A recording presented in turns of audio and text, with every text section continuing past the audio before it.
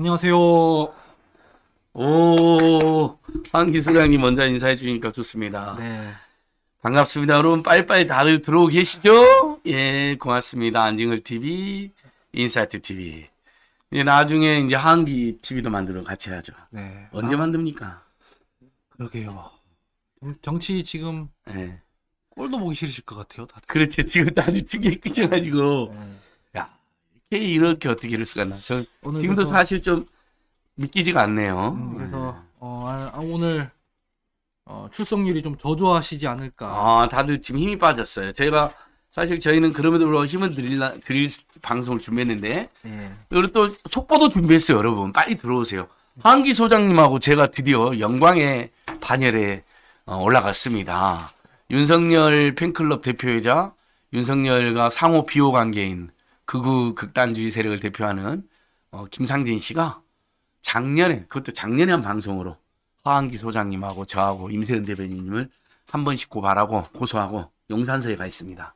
그 다음에 그것도 모자라 저는 분이 저한테는 뭐가 더 화가 났는지 사실 뭐 집회장에서도 저한테 계속 고소한다고 그러더라고요. 근데 앉은 거는 한번 더.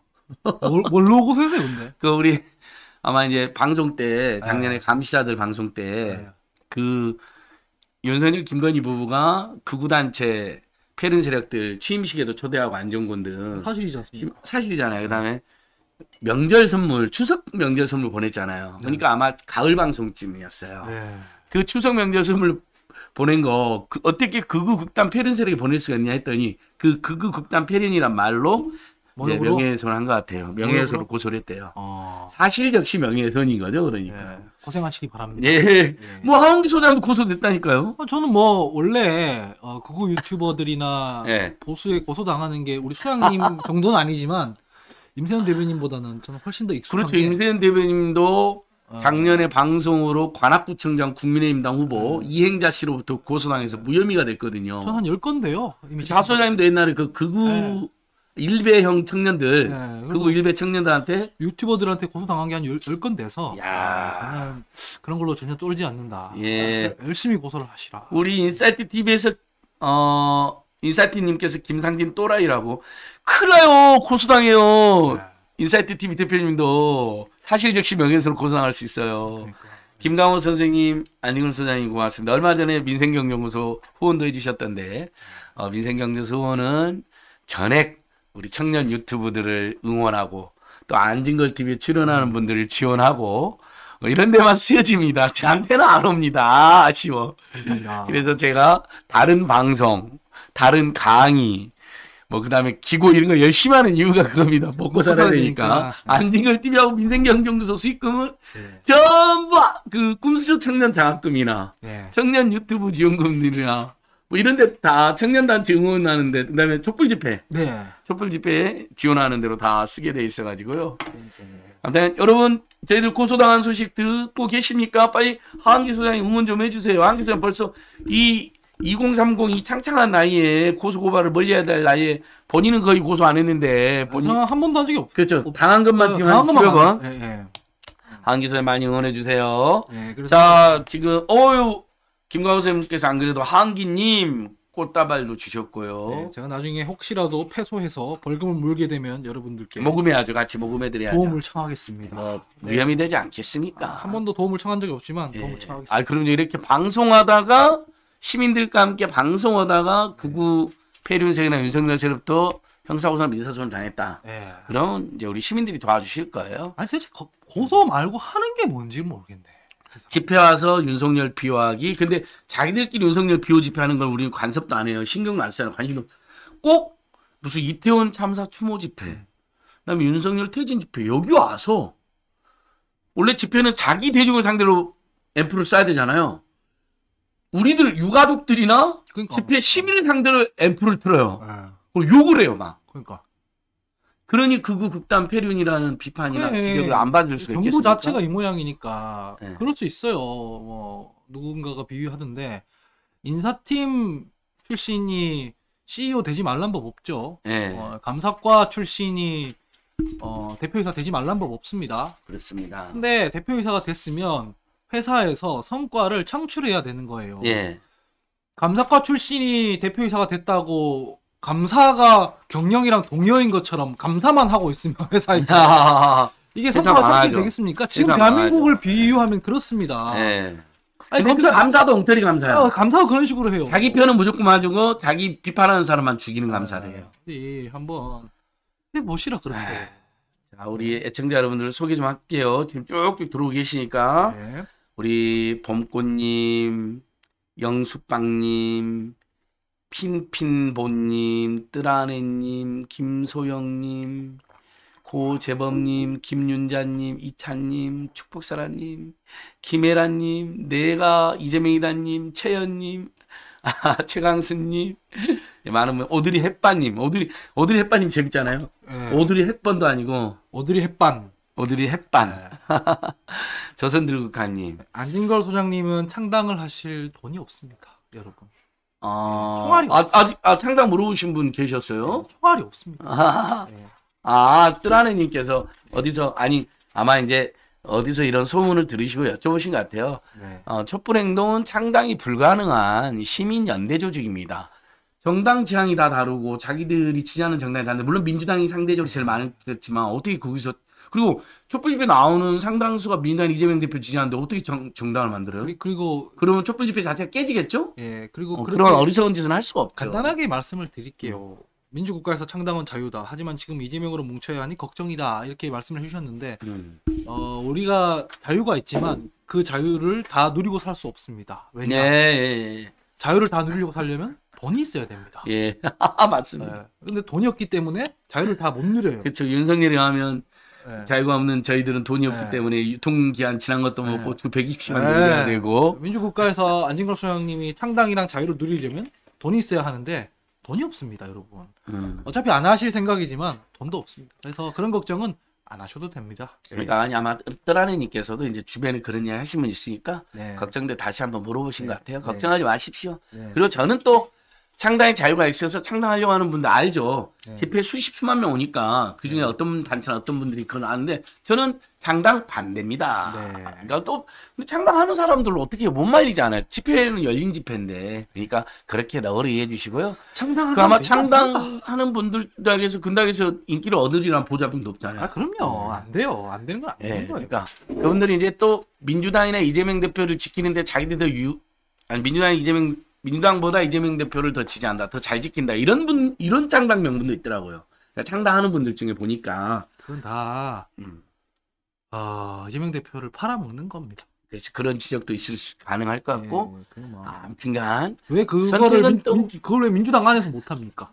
어유 그렇죠 그렇죠. 민주당 안에서 하면 되죠. 또, 역시 우리 네. 하 소장님 민주당에 대한 애정이 대단합니다. 민주당 안에서 하면 됩니다. 예. 그래서 자 이렇게 많은 분들이 지금 오 어느새 우리 인사이트 TV 어 우리 아니요 TV 벌써 117명이나 들어왔어. 자 우리 오늘 아 본격적인 이야기 전에 우리 건강을 회복해야 돼요. 어제 오늘 너무 체력 그리고 아까 여러분 제가 오후 3시부터 4시 동안 1시간 동안 TBS 허리케인 라디오 출연했어요. 아직 안 잘렸어요. 세일고 앵커님하고 저하고 네. 가수 풍금님하고 하는데 자영업자 힘내세요 방송인데 굉장히 인기 있거든요. 네.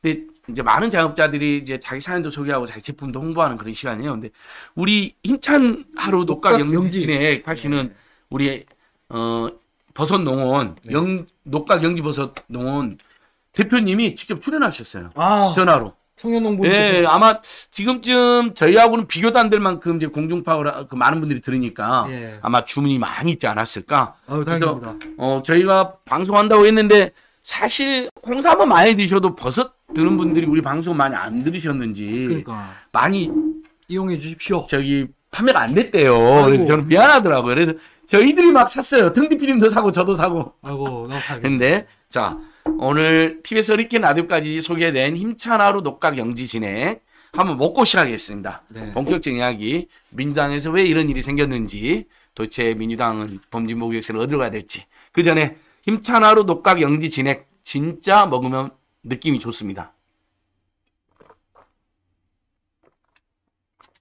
아, 아, 아 너무 좋다 너무 좋아. 아 어때요? 아. 진짜 이거 맛있죠 이거 진짜. 이게 음. 요즘처럼 이렇게 속이 첨불날 때는 더 좋네요. 네. 네. 자, 이제 본격적으로 이야기를 한번 해보려고 합니다. 뭐, 다양한 해석이 있습니다. 여기 당장 최강수 선생님께서도 사실상 중대선거조언하는 노장그룹에서 당권 의식한 결과로 봅니다. 도 있고 스카이 77님은 아예 민주당 수박들 살생부를 올려주셨는데 34명. 근데 이 명단이 틀린 게 많이 있대요, 선생님. 저는 제가 지금 들어있는 방에 그 격분과 분노, 걱정, 우려 다 이해가 되고 저 똑같은 심정인데 명단을 작성해서 배포하려면 진짜 신빙성이 있어야 되잖아요. 근데 벌써 몇몇 의원들이 입장을 냈잖아요. 자기는 결- 강력 반대인데 어떻게 이럴 수가 있냐 하니까 이 지금 상태에서 명단을 작성해서 배포하는 건 안 했으면 좋겠어요. 아니면 신중히 정말 알아보고 하시거나요. 뭐 이렇게 나로서는 몇 명이 꼭 추정된다. 뭐 이런 주장이 하실 수 있는데 진짜 딱 부결표 34명, 38명 이렇게 갖고 확정적으로 명단을 돌리시더라고요. 막 네. 여기저기. 근데 명단도 다 틀린 거 알죠? 네. 올리는 마다 명단이 또 틀려요. 네. 저는 그런 생각도 들더라고요. 공천 경쟁자가 슬쩍 끼워넣었을 수도 있겠다, 잘못하면. 그러니까 있죠. 그렇게 악용되는 수도 있잖아요. 그러니까 저는 여러분들 생각이 똑같은데 이 사태에 대해서 거의 비슷한데 명단을 작성하고 배포하는 것은 좀 신중했으면 좋겠다. 예, 이렇게 말씀을 드리고 싶어요. 자, 자 이제 하수님 어떻게 보셨어요? 저는 아 어제- 진짜 나 어제도 저도 방송- 화가 나대. 어제도 방송에 갔다 왔는데 오늘 네. 캠스 시메토론에서 이거 아니 열린 토론에서 2주를 했나요? 예, 한 시간 그 30분 넘게 예. 하는 방송이라서 되게 예. 긴 호흡의 방송인데 저희는 지금 프레임 전쟁에서 지고 있다라는 생각이 일단 들었습니다. 음. 뭐냐면 부결됐어요. 결과는 부결이에요. 근데 마치 지금 이게 뭐 당내 분열이 일어나서 민주당이 폭파한 것처럼 지금 프레임을 뒤집어 씌우는데 음. 일단 부결입니다. 정확하게는. 그리고 두 번째는 국민의힘이 지금 좋다고 막 꽹가리를 쳐요. 네. 근데 꽹가리를 치는 그 사람들이 뭘 돌아봐야 되냐면 본인들 당권 토론하는 거 후, 그 후보들 토론하는 거나 보면 음. 같은 당을 할 수 없는 수준이에요. 그 지금 분당대 하고 있잖아요. 분당대요. 전당대가 아니라 분당대. 그다음에 두 번째 네. 이거는 뭐 이재명 대표의 뭐 총선 리스크다, 당 대표 리스크다 음. 이런 식으로 국민의힘에서 말하는데 총선은 당 대표 얼굴 달고 하는 거 아닙니다. 그거는 총선은 누가 하는 거냐면 어디에 제일 영향을 많이 미치냐면 국정 지지율에 영향을 제일 많이 미칩니다. 음. 2020년 총선에서 문재인 대통령의 국정 지지율이 부정평가보다 더 높았습니다. 음. 이겼죠? 음. 2008년 총선에서 박그 그 이명 이명박 정부 정권의 어 부정평가 여론이 그 저기 국정 지지율보다 낮았습니다. 우리 81석 했죠. 네. 그렇죠? 박근혜 정부 부정평가 여론이 엄청 높았습니다. 우리가 이겼죠? 이게 뭐냐면 지금이야 저 치들이 국민의힘 치들이 음. 뭐 이재명 대표 때문에 뭐 총선 진다 이렇게 시건방을 떨고 있을지 모르겠으나 막상 총선이 되면 공보물에 뭘 써야 돼요. 음. 뭐 써야 된다고. 그러면 대통령이 이렇게 쓸 거예요. 아, 저희 윤석열 정부에서는 수단과 방법을 가리지 않고 이재명 대표를 구속시켰습니다. 이렇게 쓸 겁니까? 야. 그렇게 쓰면은 시민들이 어이구 잘했다. 너희 대한민국 좋은 대한민국 만들었다 하고 네. 표를 주겠습니까? 지금 윤석열 정부 부정평가율이 60% 플러스 마이너스 알파입니다. 관리가 안 되고 있어요.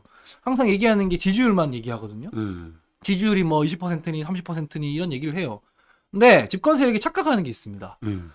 당장 지지율만 확보하면 국정 운영 동력이 생기니까 지지율만 보고 부정평가 여론을 안 봐요. 근데 부정평가 여론이 지금 당장이야 국정 운영을 하는데 영향을 안 줄 수도 있겠으나 선거 국면이 오면 그 부정평가율은 뭘로 바뀌느냐? 정권 심판론으로 바뀝니다. 정권 교체 여론으로 바뀌어요. 네. 문재인 대- 문재인 정부가 그래서 졌어요. 2020년도 이미 지금 총선에서 정권 심판론이 막 예. 6대 4, 5대 3 이렇게 막 나오잖아요. 네. 아니. 지금 부동층이 30%만 이렇게 되거든요. 네. 그 사람들은 정치 잘 몰라요. 정치 냉소층이 되게 많고 네. 무관심층이 많고 정관여층이 많습니다. 이재명 대표가 어쩌고 뭐뭐 김기현이 어쩌고 몰라요. 그냥 그때 당시에 내가 살기 편한가? 지금 현 정부가 잘했느냐? 이걸로 평가하게 되는데 부정평가 60%잖아요. 그냥 음. 응징 투표하는 거예요. 그럼요. 그래서 국민의힘이 저렇게 시건방지를 떨지 말고 우리 집에 불난 건 우리가 끌 테니까 당신들이 온 나라에 불내고 있는 거나 좀 신경 써라 이런 말씀 드리고 싶어요. 아, 속 시원합니다. 네, 그래서 우리 사이다 하은기 네. 극우 세력 김상진으로부터 고소당한 사이다 하은기 소장을 기억해 주십시오. 아니 우리 당의 혁신이니 우리 당의 정리니 이런 건 우리 우리끼리 하면 될 문제인데 당신들은 국민의힘은 예 집권 세력이기 때문에 국민들한테 직접적으로 위해를 가하고 있는 거 아닙니까? 음, 지금 음. 학폭 인사나 이런 사람들이나 지금 국수본에 앉히려고. 아이고 정말 예? 요 이슈를 그냥 넘어가면 안 됩니다. 예. 한동훈이 몰랐다고 거, 뻔뻔해 어디 뭘 거짓말. 모릅니까? 5년 전에 다 보도가 야, 됐는데. 치, 그러면 거기서 소문 안 났겠어요? 예. 지들이 채찍꾼들인데? 그러니까 예. 저는 이런 말씀을 드리고 싶습니다. 여러분이 총구를 화가 나시는 마음은 제가 이해합니다만 음. 저 국민의힘이 나와서 뭐 민주당 집구석 망했다고 떠들, 떠드는 그 사람들한테 들이대야 되는 음, 거예요. 음, 음, 음. 총구를 글로 향하고 음. 니네나 잘하라고 해야 되는 거예요. 예. 실제로 지금 나라를 망치고 있는 건 윤석열 정부지 않습니까? 예. 여러분들이 그 지칭하는 수박들이 아닌 거 아니라 윤석열 정부가 직접적으로 망치고 있거든요. 그렇죠. 거기 넘어가면 안 된다. 예. 그렇게 봅니다. 그러니까 어, 압도적으로 부결시킬 것이라고 하면서 사실 배신한 거죠. 그 세력들을 비판하고 규탄하는 거 의미가 있습니다만 그것만 하면 안 되는 겁니다. 더 크게 윤석열을 어떻게 대응하고 몰아낼 것인지를 중심으로 사고하고 그다음에 이번에 정말 황당한 의회 결과를 만들어내는 사람들에 대한 규탄도 해야겠죠. 그리고 더 나아가 그 사람들마저도 설득을 해서 또는 소통을 해서 누군지 저는 알 수는 없지만 또 이재명 대표도 더 노력을 해서 어, 또 구성장을 청구할 때는 그때는 진짜 압도적 부결을 한번 보여줘야 될 거 아닙니까? 이렇게 139 찬성표가 하나 더 나온 것은 얼마나 창피한 일입니까? 제가 예. 이렇게 말하는 이유가 있어요. 음. 기사를 하나 봤는데 음. 통디님께서 띄워주시면 좋겠는데 주호영 이 오늘 그 나와서 깝치더라고요. 국민 우리 민주당 막 예. 조롱하고 풍, 음해하면서 헤드라인을 예. 보면 깝, 깝치고 있던데 제가 이거 보고 비웃었습니다. 예. 뭐라고 적혀 있냐면 자 아, 올, 올리고 계시나요 기사? 아, 아 예. 여기 요제 모니터 화면이 느려요. 주호영 반란표 아닌 양심표 개딸의 색출은 뭐 반 헌법적 이렇게 얘기하는데 개딸을 위해서 또왜 아니, 이야기합니까? 아니, 도대 체? 내가 진짜 방금도 국민의힘 욕을 했지만 예. 우리는 그래도 시민들이잖아요. 일반 그 어디 화낼 데 없는 시민들 권한이 없어가지고 네. 화내는 거잖아요. 이게 네. 이게 뭐 하는 짓이냐 이게 화내는 거잖아요. 예. 근데 국민의힘 니들은 어떻게 하냐면 시민들이 아니라 권- 권력이 있는 국회의원들이 연판장 돌려서 지금 색출하자고 하잖아. 아예 죽였잖아 나경원. 나경원 잡자고 너네는 네. 국- 국, 민의힘에서는 국회의원들이 그러고 있고 대통령이 제도를 바꿔가면서 남 찍어내고 네. 왕따 시키고 유승민 이준석 몰아 린치하고. 이준석 몰아내고 유승민 몰아내고 나경원 짓밟고. 야 그거는 반헌법적이냐고 그건 말이 되냐고 그게 반헌법적인 거지 시민들은 떠들 수 있다고요 화가 나면은 아 이거 뭐 하는 거냐 다음에 공천 그렇죠. 주의해야 된다 악순 운동 해야 돼 이렇게 할 수 있다고 당연히 시민들은. 주권자들은 낙선 운동 네. 또는 비판 운동 할 수 있죠. 그, 그 사람들이 한테 이견이 있으면 나중에 지금 화가 났으니까 이게 달래야지 물론 달래야 되지만 근데 당신들은 시민들도 아니고 국회의원이라는 사람이 그렇게 하고 있잖아요 지금 이게 음. 조영이 할 마- 말할 군번이냐 이 말이에요 제 말은 예, 예? 맞습니다. 당신들이 말할 군번이 전혀 아니에요 예. 그 얘기를 내가 하- 하려고 하는 거죠 그 사이에 또 아주 많은 분들이 들어오셨어요. 벌써 260분이 들어오셨는데 강아지님, 리오님, 글로리님, 아까 우리 써니님 어쨌든 내부 단속부터 해야 한다. 예, 충분히 이해됩니다. 그리고 글로리님께서 어쨌든 뭐 이낙연 전 대표나 박지원 전 원장을 비판한 글도 이런 이제 이런 지적도 하시는 분들 많이 있더라고요. 뭐 네. 그 다음에 어, 우리 봄꽃님께서 진보 진영이 당한 고소고발은 훈장이다.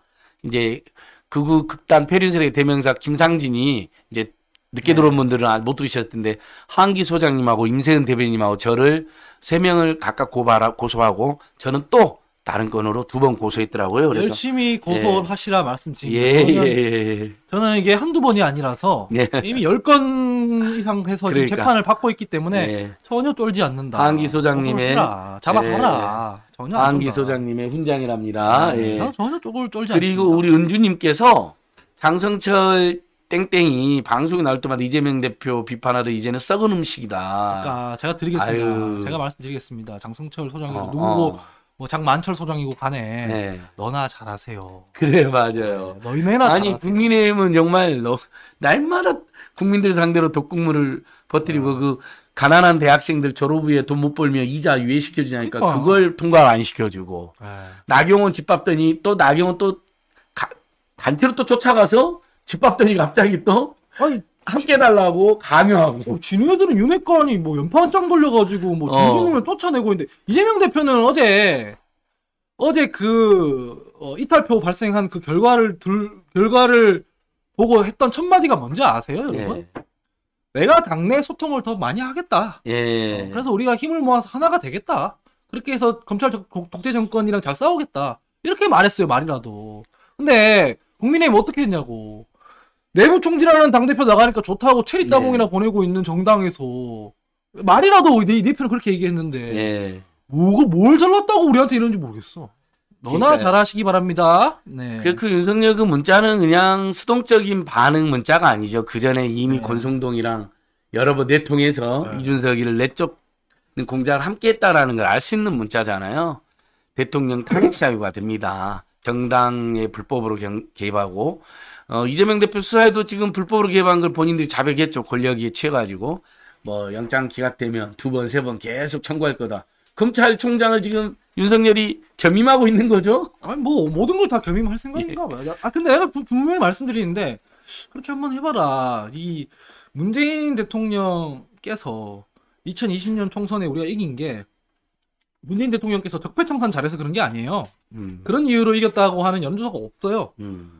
그때 코로나 대응 뭐 이렇게 이런 거예요. 윤석열 정부도 마찬가지인데요. 처음에 이제 상대당을 공격 잘하면은 지지층이 되게 좋아합니다. 네. 근데 집권 2, 3년 차가 되면 그거는 집- 정부의 성패랑 상관이 없어요. 문재인 정부에서 얼마나 적폐청산을 잘했느냐 이거를 평가해서 국민들이 총선에서 표를 주시는 게 아닙니다. 경제가 얼마나 나아졌냐, 음. 문화가 얼마나 융성해졌냐, 음. 재난에 세계적인 재난에 얼마나 대응을 잘했냐, 국제적인 위상을 국가의 위상을 얼마나 높여놨냐 이런 걸 종합 평가해서 이 당에 표를 주는 거거든요.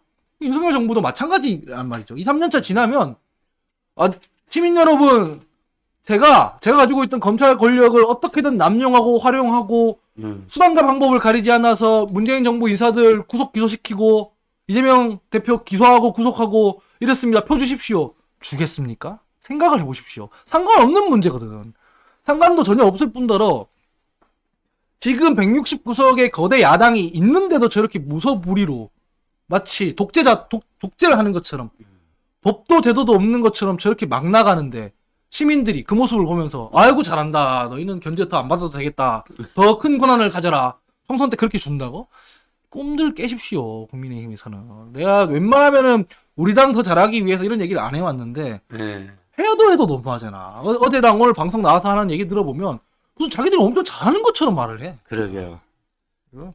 아니 그리고 결과적으로도 부결됐고 또 한동훈이 나와서 설명하는 것도 전혀 증거라든지 설득력 논리도 제시 못했다는 비판도 받고 있는데 바- 제1야당 죽이기 협치하자 그러면서 국정운영의 최고 책임자로서 맨날 제1야당이랑 협조를 구한다면서 실제로는 민주당 죽이고 전 정부 죽이고 이재명 죽이는 정치 공작에 윤석열이 직접 앞장서고 있는데 그걸 견제를 못하면서 동, 편승하고 보완회동하면서 지들이 어쨌든 부결됐는데도 불구하고 민주당 분열을 노리고 조롱하는 거 보면 어 어쨌든 이탈표 있는 것 때문에 너무 열받긴 하지만 진짜 더 열받는 건 윤석열과 국민의힘당 놈들이다 이런 생각을 해보고요. 네. 근데 이제 많은 분들이 이제 표결 결과에 대한 우리 하은기 소장님의 분석을 궁금해하실 것 같아요. 어 뭐 많이 나왔으니까 뭐.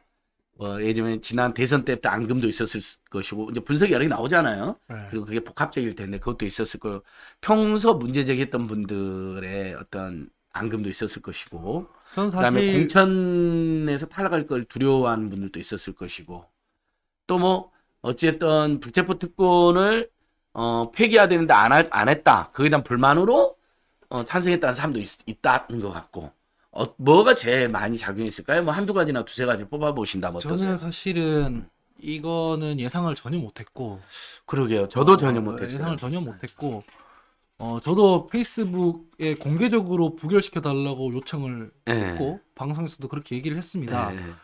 그래서 저는 방금 말씀하신 것들이 다 복합적으로 있었다고 봅니다. 예. 근데 이재명 대표의 태도가 그거를 나무라는 게 아니라 내가 더 소통 잘해서 하겠다 네. 했거든요. 예. 그게 제일 바람직하다고 생각을 합니다. 네. 왜냐면은 공천 문제에 걸려 있는데 그 자기 사욕을 챙기는 문제는 지금 국회의원들뿐만이 아니라 역대 어느 국회에서든 다 그랬습니다. 음. 네, 그 문제들을 잘 달래고 음. 얼르고 같이 가자라고 음. 하는 게 이제 어, 지도력인 거죠. 이재명 대표가 그래서 내가 더 소통하겠다고 한 음, 거고요.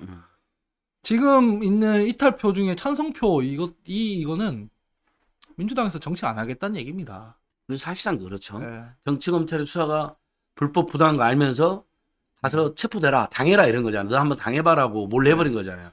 겉으로는 다 부결시킬 것처럼 이야기했다면서요. 네. 그것도 많은 국민들에게 충격을 준 것 같아요. 그래서 굳이 말씀드리면은 어, 찬성표를 던진 거는 이건 민주당에서 정치를 안 하겠다는 정도인 것 같고요. 저는 음, 음. 어, 기권표를 던진 거는 거기까지 아직 안 갔다고 생각해요. 뭐 음. 구분을 해야 되겠냐 이런 음. 말씀해 주시는 분도 많은데 그, 어, 왜냐하면 차이는 있죠, 엄연히 예, 어쨌든. 차이가 있고 그분들을 왜냐면 윤석열이 다음에 또 체포영장 친다는 거 아닙니까? 예. 근데 기권표랑 찬성표랑 구분을 안 하기 시작하면 그분들이 찬성표로 돌아설 수 있잖아요. 그러면 안 되죠. 그러면은 그 화나시는 심정은 이해하겠지만 그게 이재명 대표한테 도움이 안 됩니다. 예. 실제로 그렇게 해서 그 사람들이 아이 뭐 그래 공천 뭐 필요 없어 그냥 뭐난 내 쪼, 쪼대로 할 거야 해서 가결표가 더 늘어나는 사태가 발생하면 결과적으로 정치라는 거는 감정도 감정이지만은 결과로 이 모든 게 영향을 미치는 거 아니겠습니까? 그러면 우리가 이재명 대표한테 도움 되려고 했던 그 모든 일들이 오히려 칼이 될 수가 있다. 네. 그래서 저는 기권표를 던진 사람들에 대해서는 설득해서 돌려 세워야 된다고 생각을 합니다. 예. 설득해서 설득해서 돌려 세우고 다시 한번 큰 대우를 만들어야 된다고 생각해요. 예. 찬성표는 제가 분석이 하기 싫어요. 음. 아니 그렇잖아요. 비겁한 짓입니다. 비겁한 음. 짓. 그건 되게 비겁한 짓이에요. 이재명 대표의 리더십에 불만이 있고 그러면 공개적으로 계속 밝히 차라리 그러니까 뭐 김혜영 같은 사람이 차라리 고- 솔직한 거예요. 차라리 나는 이렇게 생각한다. 어, 나는 당신 아니라고 생각한다. 차라리 이렇게 얘기하고 평가를 받든가. 음. 아니, 아, 겉에서는 아닌 척 하면서 뒤에서는 그런 식으로 하는 게 말이 음. 됩니까? 그렇잖아요. 그렇죠. 제 찬성표하고 기권표는 여러 번 확실히 차이는 것 같아요. 찬성표는 이거잖아요. 압도적으로 부결시켜줄 것처럼 해놓고 너 한번 당해봐라고 정치검찰한테 당대표를 갖다 바친 놈들이고 이거 놈들이라고 해야죠. 기권표는 이거잖아요. 이재명 의원가 마음에 안 들어. 아무튼 공천도 불안해.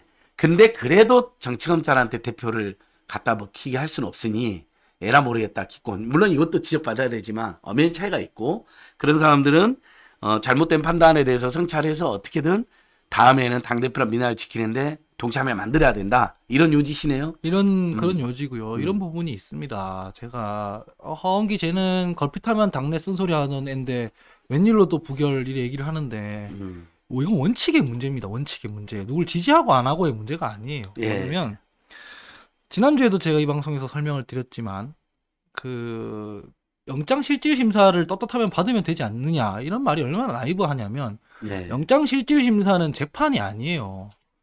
피의자가 장기간 수사를 해서 증거와 증언을 모아서 구성했던 그 검찰의 논리에 대응해서 반론하고 해명을 펼칠 반론권이 피의자한테 없어요. 그냥 그냥 실질 심사 받는 네. 거예요.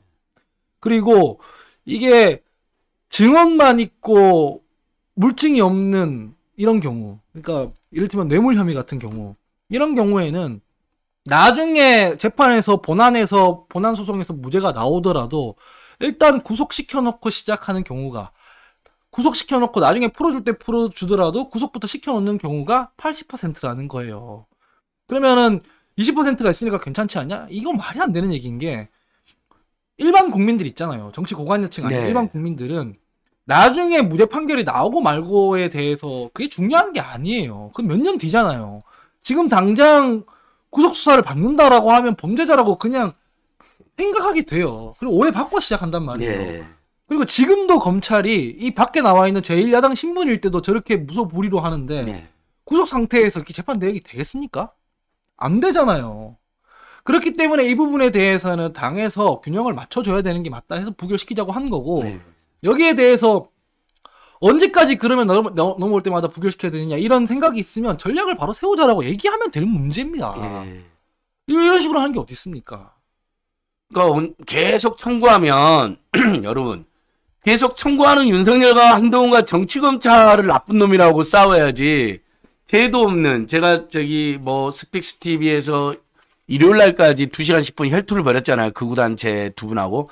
근데 그 사람들도 압도적 부결을 될 거라고 이야기했어요. 그러니까 얼마나 이번에 황당한 결과인지 너무나 의외의 결과인데 베니 대표나 저도 최소 압도적 부견 될 거다. 170표 이상으로는 완전히 다들 완전히 지금 멘붕이잖아요. 그 뭐 어떻게 네. 하자는 건데 이렇게. 근데 아예 정치검찰한테 먹잇감으로 줘보려고 했던 사람들이 있다는 게 너무 너무 충격적인 거고요. 음. 그 다음에 이제 계속 청구하면 오늘 이상민 의원이 그러는 거야. 그러니까 빨리 어 사퇴해야 된다 이런 거잖아요. 계속 청구. 아니 죄가 있어야 사표 사퇴도 하고 체포도 되는 거죠. 아니 뭐 어떻게 하자는 거야 그래서. 죄가 없다니까 여러분. 대장동은 오히려 감정평가사들이 칭찬을 해줬고요. 성남 FC도 성남 시민들이 혈세를 아껴서 몇백억의 광고를 받아갖고 적극 행정 박수 받아야 될 일이잖아요. 근데 그럼 그럼에도 불구하고 불법적으로 부당하게 윤석열까지 개입해서 구속장 청구하고 계속 치고 이거하고 싸워야지. 그놈들을 나쁜 놈이라고 해야지. 왜 당대표한테 책임을 져라. 사표를 해라. 그리고 심지어는 체포당해라. 이럴 수가 있는 겁니까? 아니 아니 그 옛날에 문재인 대표 모델로 가자고 네. 주장할 거면 테이블을 깔아놓고 공개적으로 토론을 하든가 뭐 어떻게 하자는 얘기인지가 없잖아요. 어떻게 하자는지 이건 총선까지 1년 4개월 남았는데 뭐 1년 4개월 동안 비대위를 해요 그러면? 아니 뭐 뭔가 보관이 없 보관이 이 생때 쓰는 것도 아니고 예. 뭔 전력이 없어요.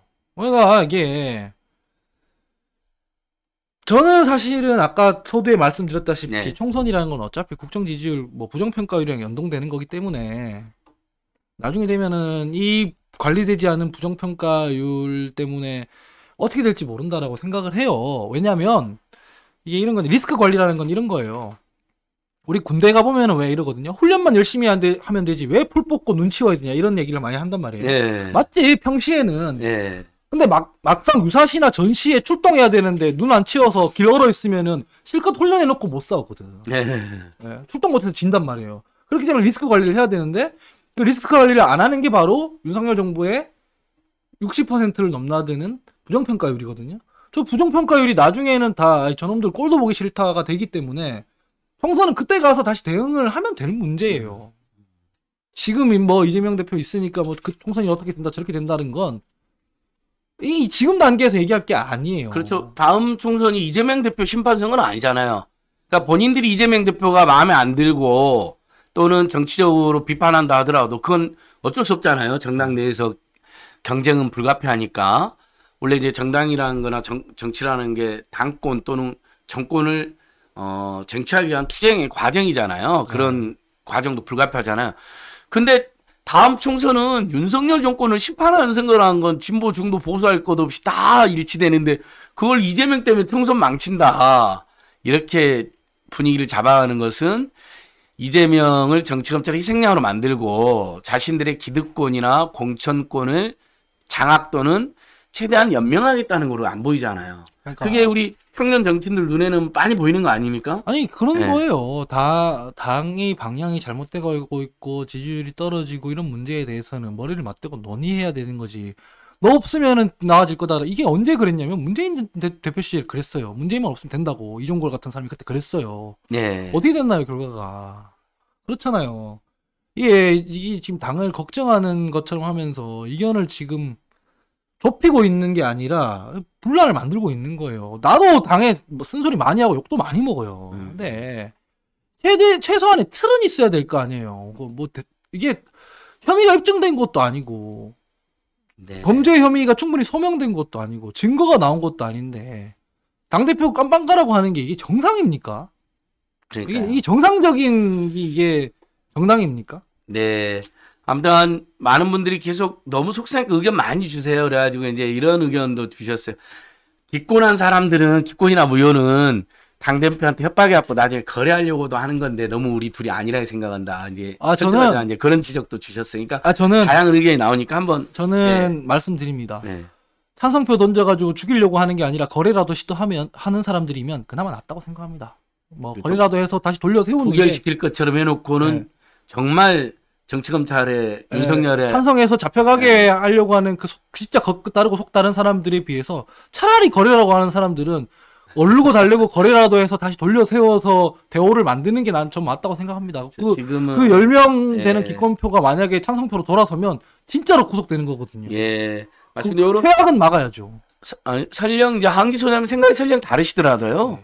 이런 어떤 청년 정치인의 어떤 해석이나 전술은 우리가 또 경청을 해야 될 것 같아요. 오늘 사실 정치라든지 어 사회운동이라는 것은 지금 윤석열 같은 이렇게 막대 먹은 극우 극단 폐륜 막가파 정치 검찰 독재 정권한테는요 우리 힘과 지혜를 더 키워야 됩니다. 우리가 더 소수가 되고 더 작아져서는 안 되잖아요.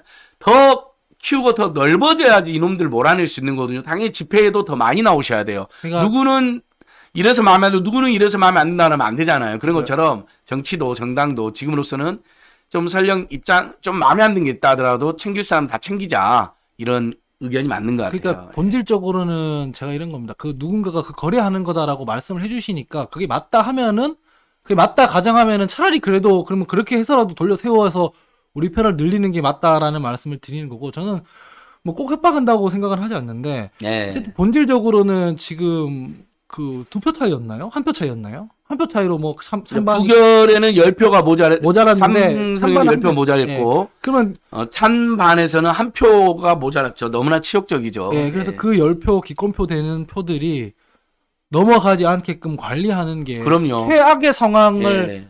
막는 길이다라고 생각을 아니, 요, 합니다. 여기는 여러분들께서도 지금 아까 헌기 소장 제가 이야기할 때 반박하신 분들도 한번 경청해 줬으면 좋겠어요. 저희는 동지들이니까 감히. 네.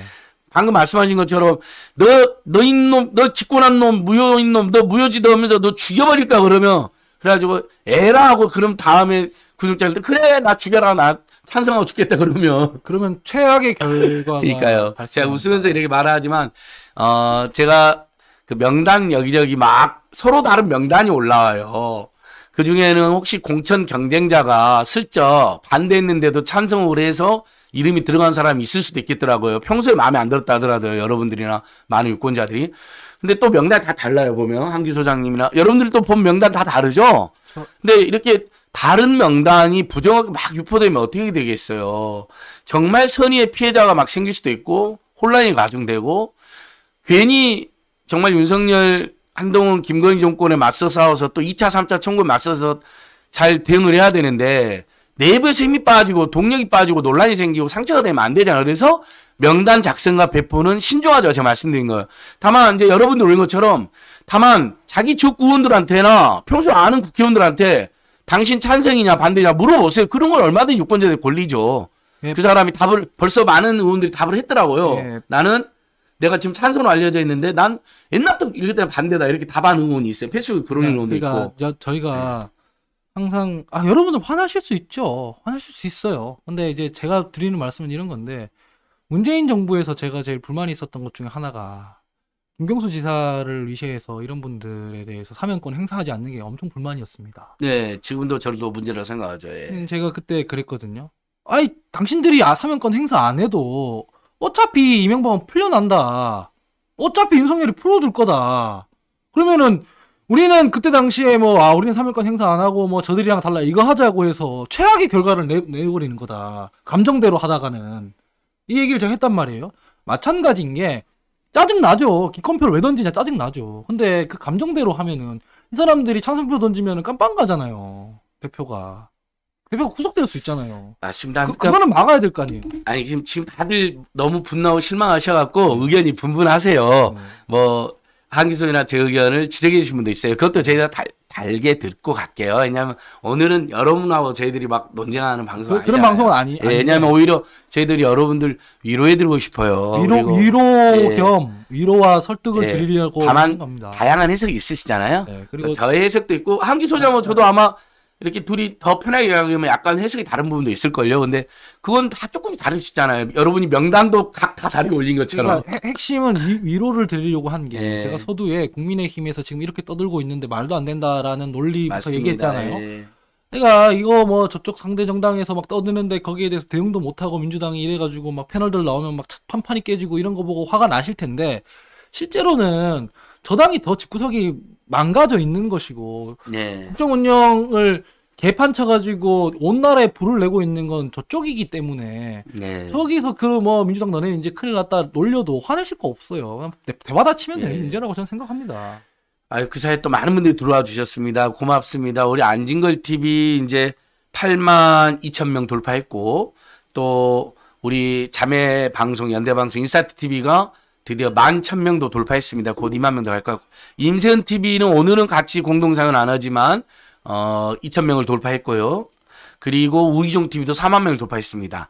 우리 또 양희삼 TV 7만 명 돌파했고 지난주에 서울의소리 100만 명 돌파했고요. 네. 매불쇼도 100만 명 돌파하고 이렇게 쭉쭉 가겠습니다. 오마이 TV는 제가 월요일 날 어제 방송하는 와중에 142만 돌파했어요. 어휴. 그러니까 다- 지금 당하고 힘들잖아요, 여러분. 이럴 때일수록 유튜브 하나 챙기고 집회 한 번 더 나오고 한 사람 더 데리고 나오고 그리고 저는 이제 이만철 선생님께서 좋게 잘 올려주신 것 같아요.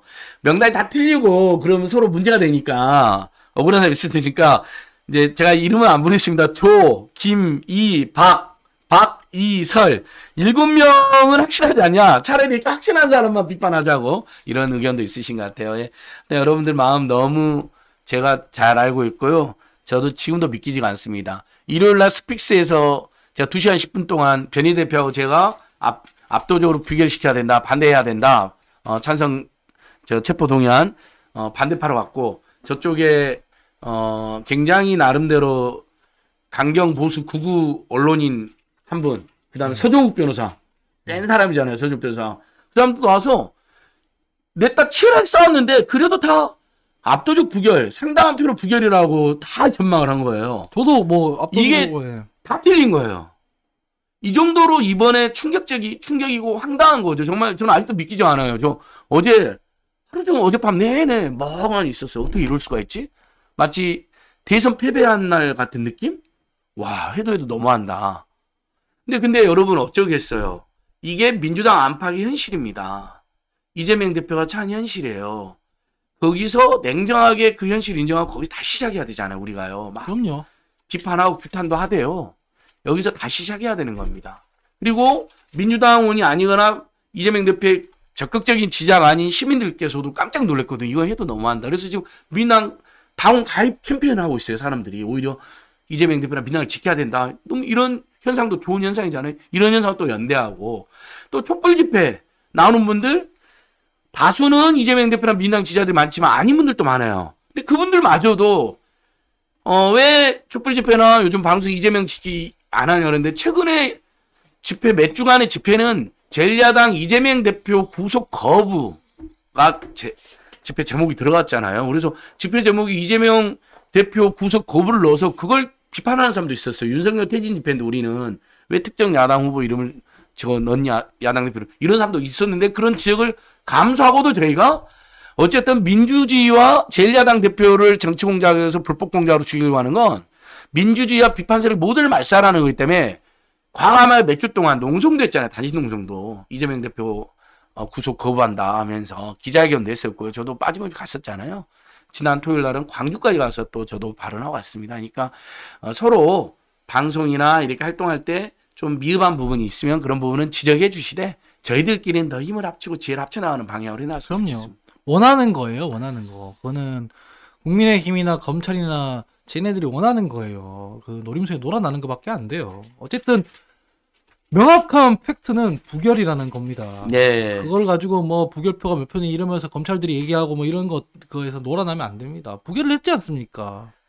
자 이번에 부결하고 또 청구하면 압도적 부결할 그 작전을 그거를 민당 안에서도 짜시고 밖에서는 정말 여러분들이 지금 하는 당신 우리 지역구 국회의원님 내가 하는 비례 당신 찬성했어 반대했어 이렇게 물어보는 건 유권자로서 당연한 권리입니다. 그들이 어떻게 답할지는 각 제각각 있지만 벌써 많은 의원들이 어, 나는 이런 저런 논리로 이런 이런 경과로 반대했다라고 이렇게 답도 하시고 그러더라고요. 공개적으로 답한 분도 있고 문자로 어 저 우리들 반대했는데 오해하지 마세요 이렇게 화들짝 이런 분도 있습니다. 이런 어, 그다 뭐, 있는 행위들이라고 그 생각하고요. 이- 이소영 의원 같은 경우에는 제가 잘 아는 사람이거든요. 음.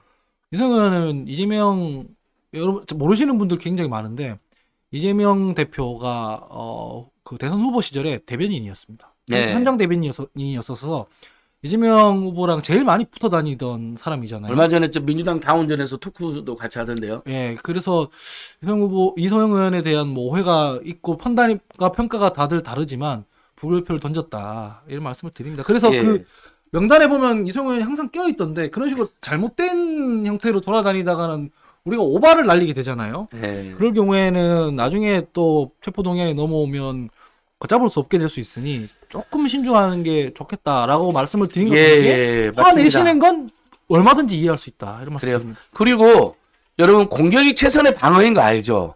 저놈들의 이재명 대표 죽이기에 이렇게 매달리는지 아세요? 민주주의를 짓밟고 제1야당 대표를 죽이고 문재인 정부를 수사하고 탓하고 서울을 구속시키고 서울 구속시키고 이러면 지들 지지율이 올라가는 것도 있잖아요. 강경 보수 세력들, 극, 극단지 세력들 동원하려고 이런 것도 있지만 사실은 저는 어, 여러분들도 다 그렇게 생각했지만 윤석열, 최은순, 김건희 총공에 대한 공격과 진상 규모를 막으려고 문제는 이재명 나라고 이렇게 덮어씌우는 거거든요. 그러니까 여러분 지금은 당내 문제에도 우리가 비판을 하되 총력을 그려서 윤석열, 김건희, 한동훈 정권의 문제점을 규탄하고 특검을 주창하고 대장동과 경기 특검 다음 촛불 집회에 나오시고 유튜브들 키우고 그 다음에 지금 우리 국민들이 대다수 국민들 깜짝 놀라게 한 오늘 아주 망언도 나왔네요. 어, 정순신 아들이 국가수사본부장이냐? 아예 또 윤핵관들이 또 그렇게 황당한 이야기를 들고 나왔어요. 미친놈들이야 미친, 미친놈들. 미친놈들이죠. 정순신은 여러분 부실 검증으로 지금 그 언론이 뭐라 하는데 제 해석은 그렇지 않습니다. 부실 검증도 있었겠지만 자 윤석열 최측근이고 한동훈 동기예요. 이원석 동기예요. 윤석열 후배고요. 자 처음에 이 학폭 이 끔찍한 학폭과 끝까지 2차 가해 3차 가해를 저질렀던 정신신 부부 행태를 윤석열 한동훈, 김건희가 몰랐을 리가 없죠. 이번에는 부실 검증이 아니라 여러분 검증을 못하게 한 거죠. 내 채찍근이고 정치 검찰인데 감히 어디서 경찰이나 어 또는 또 다른 검사 따위들이 검증을 해. 자, 봐요. 어.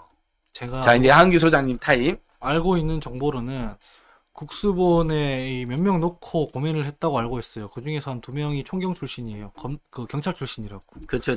그리고 그 정순신이 있는데 이 세 명 중에서 제일 하면 안 되는 사람이 누구냐면 정순신 씨.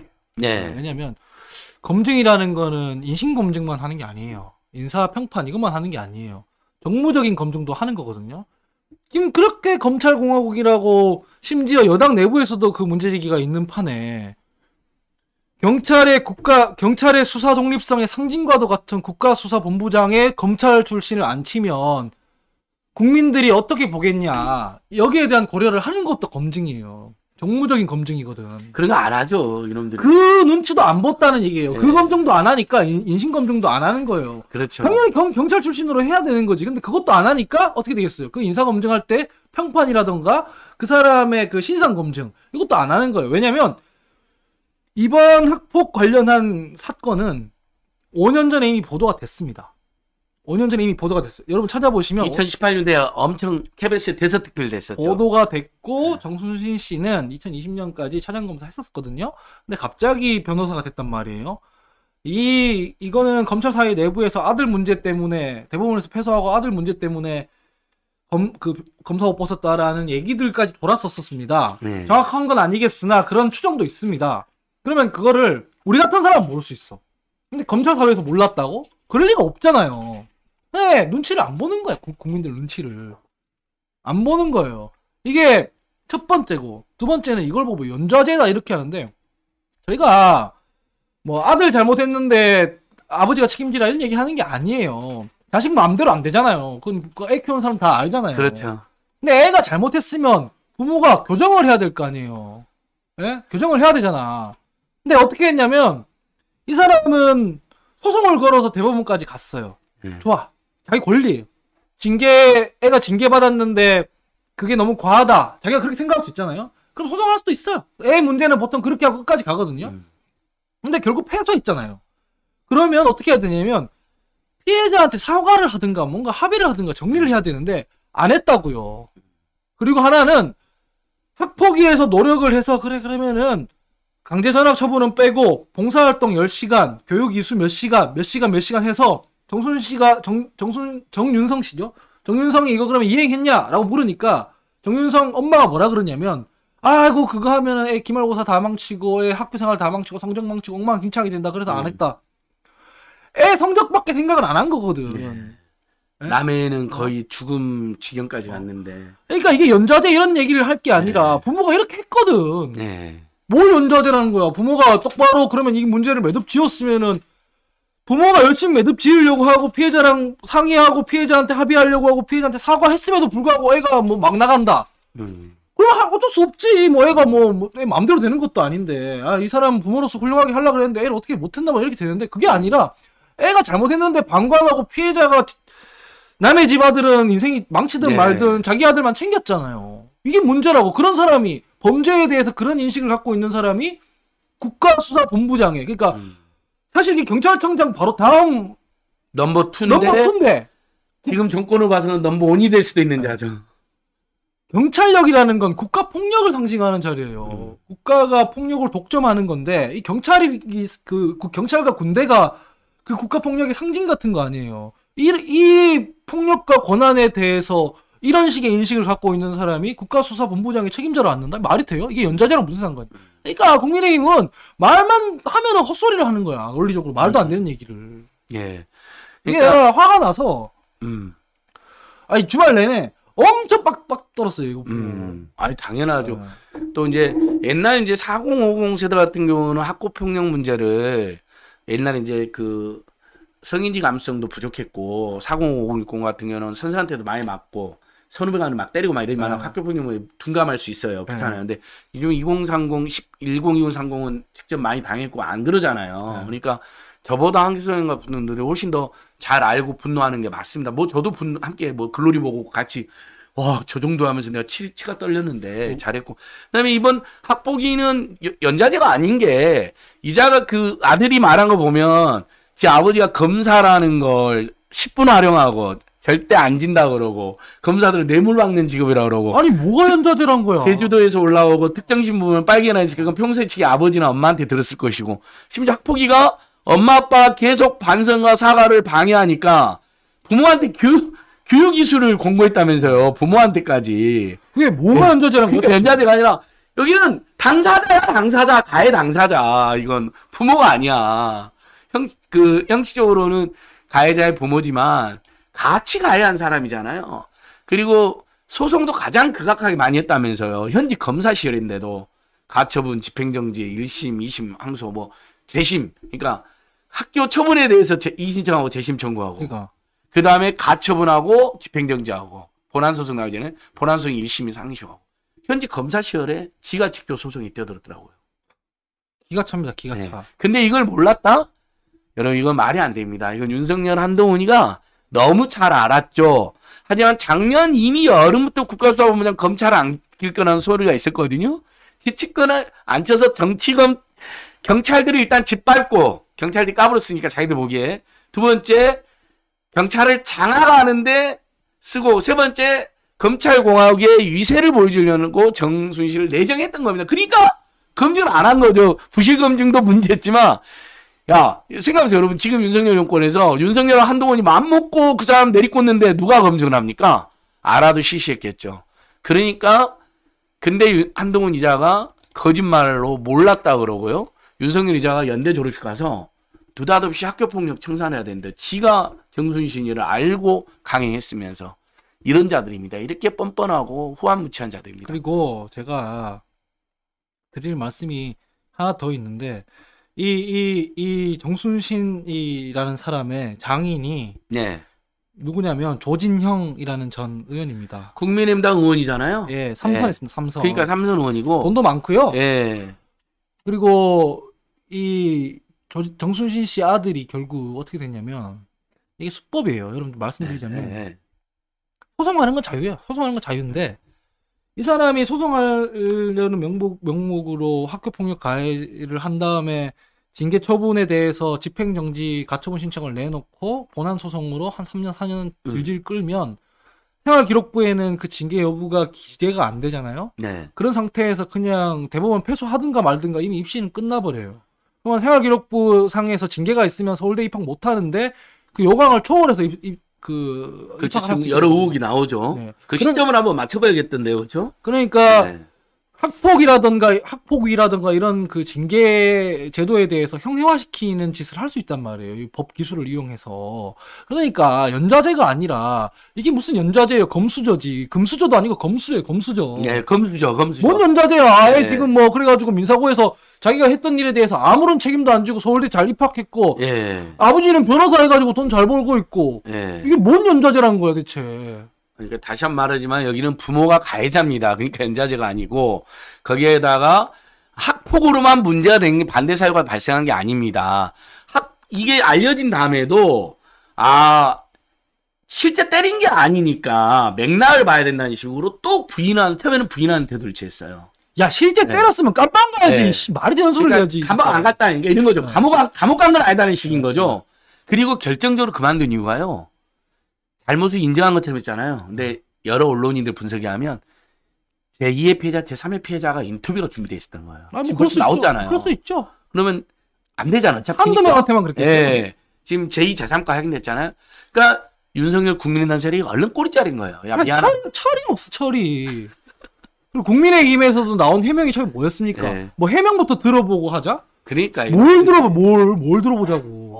근데 심지어 예, 통디님. 지금 신상 공개가 아예 다 돼버렸네요. 정순신의 아들 얼굴, 과, 이름, 사진 다 지금. 뭐 정윤성, 예, 예. 정윤성 이름에- 서울대 철학과. 네 맞아요. 예. 그래가지고 지금 다 이제 어, 유튜버랑 그. 기사에서 다 올라갔네요. 미성년자 아니자 아니 저는 저는 가급적이면 아, 이들은 우리가 어 지적하거나 괴롭히지 말자 비판하지 말자 괴롭히는 건 아니죠 비판하지 말자 또 신상 공개하지 말자는 입장이지만 어 당사자고 명백한 범죄 당사자고 성인이 되어 있고 지금도 어떻게 서울대까지 입학을 했나 하는 입시 비리고까지 불거지고 있고 또 본인이 이야기하고 다닌 게 우리 아버지 검사인데 절대 안 진다. 아는 사람 많다. 심지어 뇌물 받는 직업이다. 그리고 제주도 출신이고 특정신문, 특정신문 한겨레 신문인 것 같더라고요.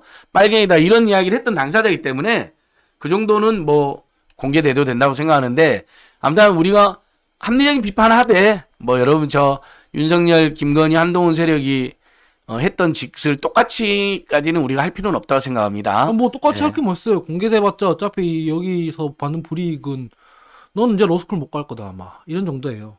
그렇죠. 그- 또 철학과 가서 서울대 로스쿨 철학과 공부하고 가서 로스쿨 가는 이 아마 tech tree가 저는 추정이 되던데 예. 넌 그건 글렀다 이제. 넌- 이 정순신이라는 자는요 보니까 또 나경원 사학비리를 뉴스타파 고발 고, 보도했잖아요. 예. 황일성 기자가 보도했거든요. 그걸 명예훼손으로 기소한 자예요. 그러니까 이게 그리고 또 그- 다 이 검판 카르텔 나경원이 판사 출신으로 남편이 지금 판사잖아요. 또 서울대 법대 지 후배 아 나경원은 선배는 했죠. 윤석열한테는 후배지만 예. 그러니까 이런 자들이에요. 세월호 1차 수사도 엉망으로 한 자고요. 그리고 장인도 김만배도 변호했다는. 김만배 변호도 있어요. 아. 그러니까 이런 거 우리가 알면 알면 알수록 완전히 이것은 어, 검수죠. 검수조와 정치 검찰 카르텔이 경찰까지 장악하고 정, 그다음에 경찰들이 수사권 조정 요구했던 거 있잖아. 독립 요구했던 거. 니들이 독립 요구해서 결과는 정치 검찰의 지배를 받는 거라는 경찰 전체한테 일종의 짓밟는 윤석열의 마음이 그대로 들어요. 윤석 한동훈이 수사권 독립 제일 반대했던 자들이잖아요. 그리고 그것도 그렇고요. 성님 말씀도 다 동의하고요. 예. 우리 저기 잘난 척 오지게 하는 저 한동훈 씨는 어. 한동훈 씨가 멀쩡한 민정수석실 없애고 난 뒤에 뭐 인사검증단인지 나발인지를 법무부에 설치할 때 언론에 내놓고 그 특유의 그 깐죽거리는 언어로 뭐라 그랬습니까? 아 문재인 정부에서 민정수석실 인사 그 음지에서 하던 거를 양지에서 끌어올렸습니다. 이러면서 뭐라 그랬습니까? 아, 달- 상당히 닮았네요. 기, 자 여러분들이 저한테 인사 실패했을 때 물어볼 수 있게 되면 더 좋은 거 아니겠습니까? 이랬지 않습니까? 네. 왜 말을 안 해? 그러면 실패했는데. 아니 물어보니까 사과를 하든지. 씨. 답 알죠. 답 어떻게 하는지 알죠. 처음에 검증을 했는지조차를 말해줄 수 없다. 어.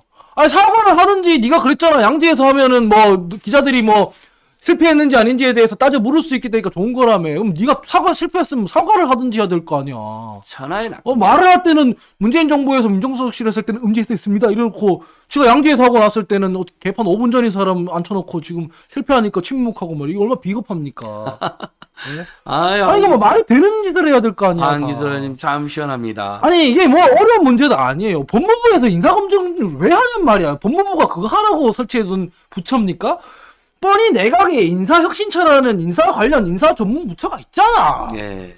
거기서 하면 되잖아요. 거기서 하고 법무부든 어디든 간에 자료 협조해줘가지고 검증하게 하면 되잖아. 검증은 그냥 보안적으로 하게 하면 되잖아요. 인사혁신처럼 놀게 하고 법무부에서 한동훈이 그거 막 쪼물딱 쪼물딱 거리게 하니까 온데 다 검사만 박아놓고 이렇게 되는 거 아니에요.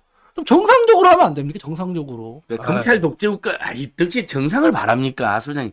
검찰 독재 국가를 하고 경찰이나 문재인 정부나 제1야당이나 시민사회를 짓바꾸려고 작정한 자들인데. 어디 쓰레기통 어디 지 길래 자꾸 이런 사람들만 올라오는지 모르겠어. 나는 일부러 일부러 안 치는 도 어렵겠어. 진짜. 아유, 거야? 여러분, 우리 황수한테 박수 한번 보내주세요. 비유가 아주 찰지고 시원합니다. 저는 이상하게 얌, 갈수록 얌전해져가지고, 윤석열 한동 김건현 생각하면 자다가도 분노가 솟는다. 아니 도대체 뭐 어디서 이런 하는 이야기는 거야? 나오는데 황기성이 같은 표현이 안 나와요. 박수 한번 보내서 황기성. 아 사이다 사이다. 아니 그게 진짜 내가 웃기려고 한 얘기 아니, 네. 아니라 여러분 제비뽑기를 한다 치면은 10개 중에 한 명 있을 거 아니에요 이런 이상한 사람 길거리에 가보면 10명 마주치면 한 명 이런 사람 있을까 말까 아닐까 예. 그런 사람들만 골라서 지금 안 치고 있는 게 이게 말이 돼요? 10명 중에 한 명은 아니고 100명 중에 한 명. 아니 무슨 인사검증 기준이 전과가 있느냐 없느냐 이거 보고 일단은 걸러내는 건가? 전과 있어야지 여기선 자격이 있는 건가? 예. 이게 도대체 뭐 하는 짓이야? 무슨 공직기강 비서관실에는 뭐 무슨 증거 조작하던 검사 그거 뭐 유성 그 간첩 조작 사건 검사에서 징계 받았던 사람 아 이 징계를 받았어야지 여기엔 들어갈 수 있는 거야? 혹시? 그렇죠. 저는 보세요. 인사기획관, 인사비서관, 공직기강 비서관, 그 다음에 법무부 장관, 법무부 차관, 네. 그 다음에 인사, 법무사나 인사검증단, 그 다음에 대통령. 저는 다 정치검사들이고, 다 정순신이랑 아. 다 잘하는 사람들이에요. 대부분. 그러니까 이것은 부실검증으로 언론이 뭐라 하잖아요, 여러분. 부실검증 아닙니다. 처음부터 검증을 못하게 내리꽂았다. 아니 검증을 아무리 안 해도 그렇지 어떻게 이런 사람만 자꾸 걸리냐고 그러니까요. 어디서 찾는 건지 나한테 좀 알려주면 좋겠습니다 나중에 혹시 우리 집권했을 때 그 섹션을 피해야 되니까 예. 이건 뭐 하, 대단합니다 정말 대단해요 예. 그리고 난 당- 진짜 대통령실도 음. 내가 그 이번에 정순신이 사퇴하고 난 뒤에 나왔던 대통령실의 말이 되게 황당했거든 네. 뭐라 그랬냐면 본인 뜻을 존중한다 그랬어 본인 뜻을 음. 야 본인 뜻을 존중하는 게 아니고 그런 사람을 임명한 거에 대해서 사과를 해야지 끝까지 사과 안 하잖아요. 못 지명. 철회를 해야지 지명 철회를 인책 경질을 해야지 이거는 왜 그걸 뭐 본인이 사퇴 의사 안 밝혔으면 그거 이상민처럼 지키려고 했어요? 예. 황당한 사람들이야 황당한 사람 완전 유체 이탈이야 예. 그러니까 사람들이 말을 안 하고 민주당 사람들이 얌전하니까 어 이걸 마치 자기들은 아무 죄가 없는데 아뭐 정순신이 이만저만 해가지고 사퇴한다니까 존중해야죠 예. 니네들이 잘못한 거야. 그리고 윤희근이하고 한동훈이하고 입을 맞춰서 몰랐다고 거짓말하고. 그러니까 여러분 지금 민주당이 또 이 국면에서 저는 아쉬운 게 정순신 같은 경우는요 최대 공세를 펼쳐야 돼요. 정당 공세고요. 그다음에 대통령실이 나서서 이재명 기각되면 또 총괄 또 총괄했다. 두 번 세번 한두 한 번 두 번은 그치지 않을 거라. 이것은 탄핵 사유입니다 여러분. 유- 노무현 대통령님은 열린우당 잘 됐으면 좋겠다는 말로 탄핵이 됐잖아요 국회에서요. 왜 제대로 안 싸우냐고요. 그다음에 장애투쟁도 아직도 결정을 못 합니까? 이러니까 이놈들이 거침없이 제1야당 대표를 상대로 정치공작 불법공작을 하는 거죠 조롱을 하고. 그러니까 여러분 정말 답답합니다. 그러니까 이번 토요일 촛불 집회도 많이들 나오셔야 돼요. 전국 곳곳에서 많이 나오시고요. 3월 18일 날 전국 총집중 촛불 집회 때는 어, 지난주 토요일 날은 장경태 최고위원이 오셨거든요. 정식으로 민주당 지도부에서. 3월 18일은 제가 당 대표님을 초대를 해서라도 민주당 지도부랑 어, 너 초대고 함께 하든 아니면 민주당이 일부를 하고 제가 2부를 해서 각각 따로 하든 2월 4일처럼 아무튼 좀 호쾌하게 장대하게 한 100만 명, 200만 명 모여가지고 이 독- 검찰 독재 정권, 민생 파탄 정권 끝장내는데 좀 힘 좀 민주당이 좀 힘 좀 그리고 다른 야당들도 힘 좀 쓰세요. 내가 정의당 이야기도 안 해요. 정의당 이제 야당 아니잖아요. 정치검찰 이중대 됐으니까 우리 이제 이야- 이야기하지 말자고요. 아 열받아. 정의당 이야기 열받는데. 정의당 조정훈 뭐 아. 아유 그런 사람 이야기하지 마세요. 그런 이야기 어. 지금 제가 이제 띄워드린 화면은 서울대학교 대자보에 붙은 예. 서울대 현재 학생이 대자보를 붙였나 봐요. 그래서 그래요? 오늘 기사에 뜬 건데 네, 정순신 아들 현재 서울대에 재학 중으로 윤서, 윤석 열, 정순신과 함께 부끄러운 대학 동문 목록에 함께할 자격이 충분하다. 내로남불 강, 양, 약강.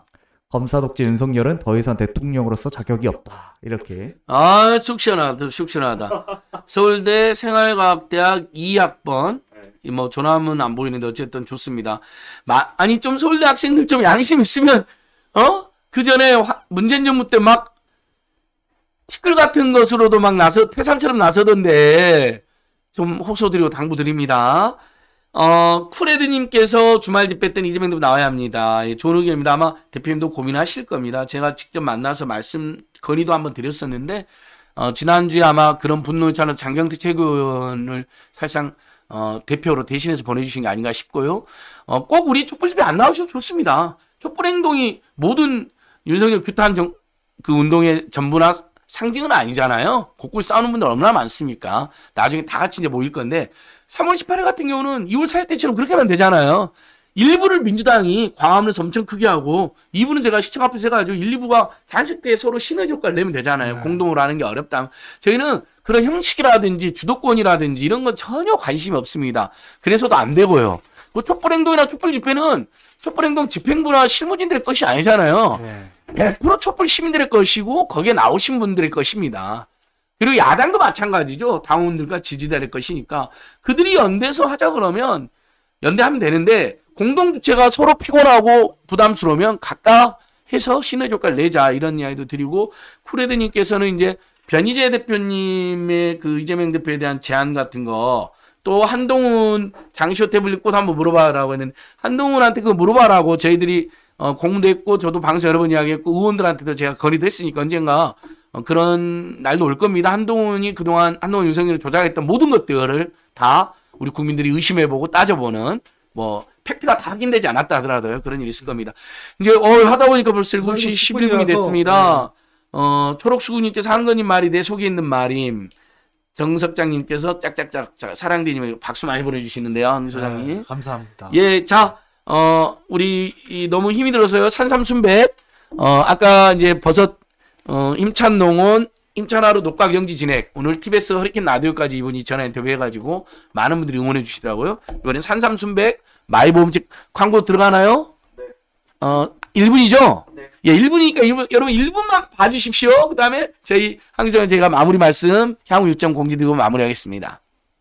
전하, 산삼 드실 시간이 옵니다. 오 그래 그래 나도 기다리고 있었다 음 오늘은 유난히도 향이 진하게 느껴지는구나 어찌 된 것이냐 예, 뿌리, 잎, 열매 한 뿌리를 한 병에 다 담았사옵니다. 그뿐 아니라 지리산 800고지에서 자란 시중 산양 산삼을 사용하였고 아무것도 섞지 않은 순 100% 원액이옵니다. 그래서 이름도 산삼 순백입니다, 전하. 아하 그래서 그런지 먹자마자 힘이 불끈 솟는구나 아예 한 박스 갖다 놓거라 알아서 먹게 지난 10년간 매달 20만 원씩 꼬박꼬박 보험 넣은 김호구 씨. 40줄에 처음 병원 신세를 졌는데 과연 그 보장 금액은? 꼴랑 100만 원이요. 왜 이렇게 실망스러운 겁니까? 제가 뭘 잘못한 겁니까? 보험 손해 보지 마세요. 최고의 전문가들이 본인에게 가장 적합한 보험으로 맞춤형 리모델링 해드립니다.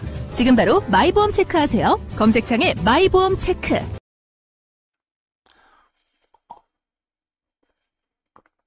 아 요즘 히- 너무 힘이 드는데 힘차나로 농각 녹각 영지 뭐 진행하고 산산소리 먹으면 힘이 나더라고요. 저는 광고가 아니라 진짜 생활입니다. 그러니까요.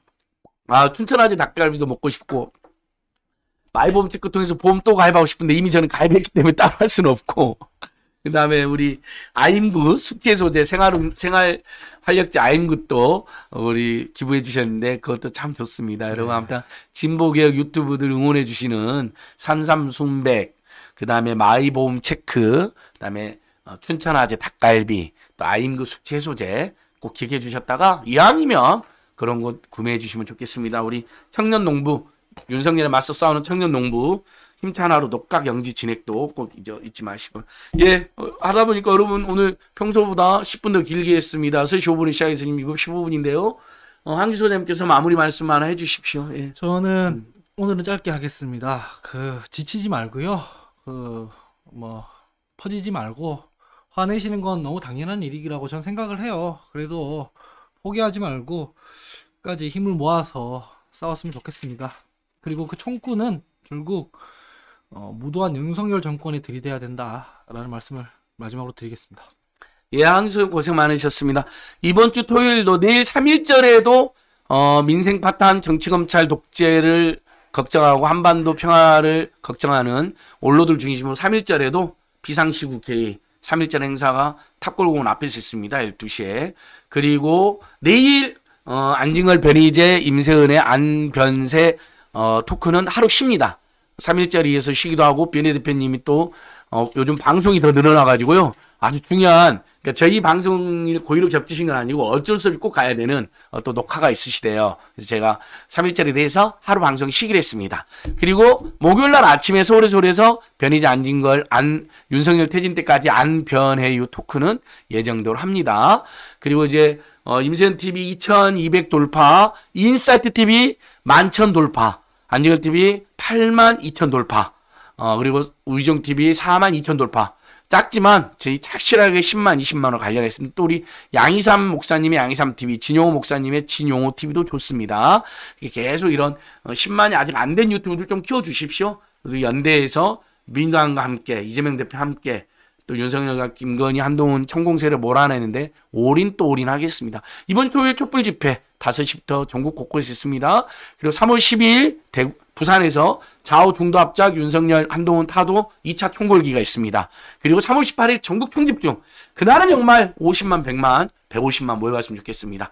예, 어, 공지롭게 드리고 어, 사랑된 이별님, 내용님, 일생일생님, 독사님 이렇게 마지막까지 또 댓글 달아주셔서 참 고맙습니다. 여러분들 너무 고맙습니다. 초록수국님, 어, 에턴남, 에스터남님, 쿨레드님, 어, 강아지님, 예. 어, 맞습니다. 한동훈과 윤석열은 사과 아닌 사퇴를 해야죠. 사퇴가 아니라 타도해야 됩니다. 맞습니다. 자, 등, 등님 뭐 공지사항 있으신가요?